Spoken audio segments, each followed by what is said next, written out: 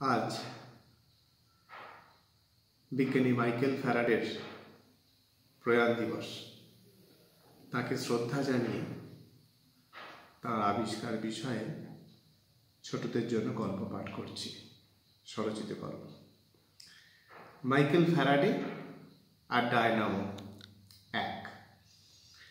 দাদু গম্ভীর মুখে কি একটা জার্নাল পড়ছে দেখে মিষ্টি আর সেদিকে ঘেঁষল না।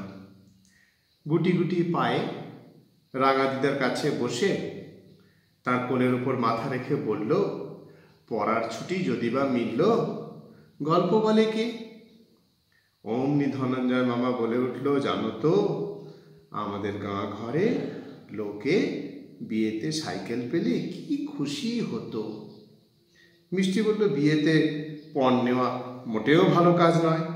নিন্দে হয়। ধনঞ্জয় মামা হাসল। বলল, তা যাই বলো। লোকে কন্যে দেখে পছন্দ হলেও মনের মতো দেনা পাওনা না হলে বিয়ে বাতিল করে দিত। বিয়ের আসর থেকে বরকে টেনে নিয়ে চলে যেত। রাঙাদিদা বললেন, এ নিয়ে রবীন্দ্রনাথ ঠাকুর অনেক গল্প লিখেছিলেন। ধনঞ্জয় মামা বললেন, তা শোনোই না আমার গল্প। মিষ্টি বললে ধুত তোমার সাইকেলের গল্প শুনব না। মামা বললেন, না না, শোনো, সাইকেল পেলেই লোকে খুশি হতো। গায়ে ঘরে বিস্তর হাঁটতে হতো কি না, সাইকেল পেলে চটপট চলে যাওয়া যেত। তখন তো আর বাস আর ট্রেকার আমাদের দিকে চালুই হয়নি। দিনে একটা মোটে লজ্জরে বাস আসতো মেদিনীপুর টাউন থেকে। বিকেলে সেই বাস আবার ফিরে যেত। মিষ্টি বলল, দেখো মামা, তোমার লজ্জরে বাসের গল্পও শুনব না। ধনঞ্জয় মামা হেসে বলল, আসল কথাটাই তো বলা হয়নি।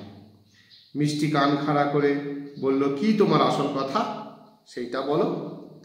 মামা বললেন, আমার ছোট কাকা তার বিয়েতে একটা সাইকেল তো পেয়েছিলেনই, তার উপর একটা রেডিও পেয়েছিলেন।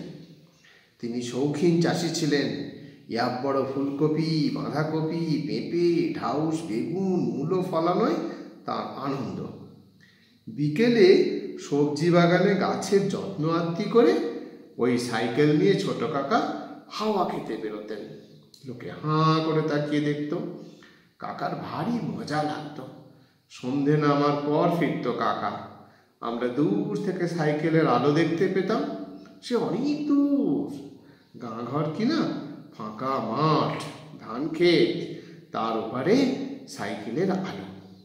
মিষ্টি বলল, সাইকেলে আলো? মামা বললেন হ্যাঁ গো, আলো। মিষ্টি বলল, কই? আমার সাইকেলে তো আলো নেই।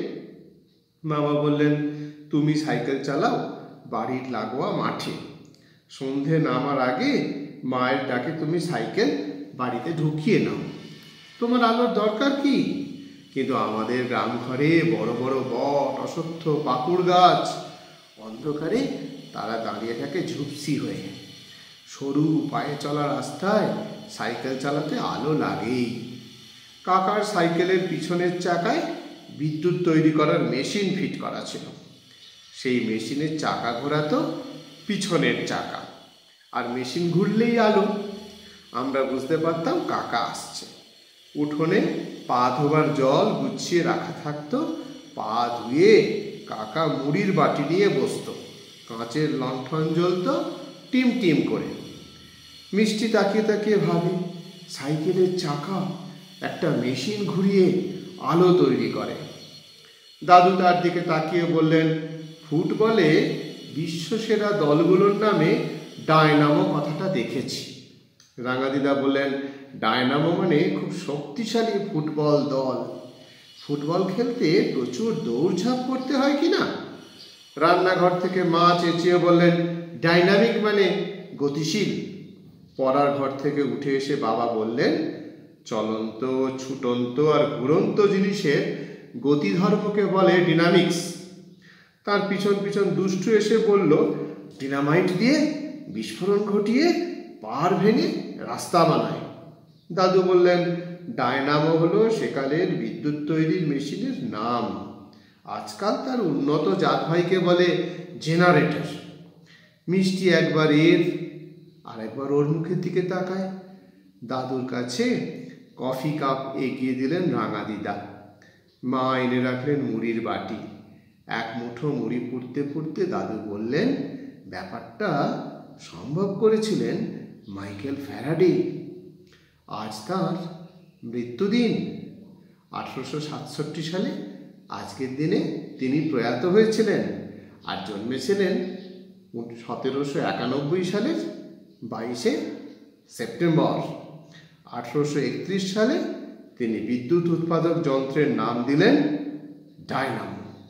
আঠারোশো একত্রিশ বত্রিশের দিকে ইংরেজ বিজ্ঞানী ফ্যারাডে সাহেব একটা অশ্বক্ষুরাকৃতি চুম্বকের দুই বাহুর মধ্যে একটা তামার চাকতি ঘুরিয়ে দেখালেন, তাতে বিদ্যুৎ তৈরি হয়।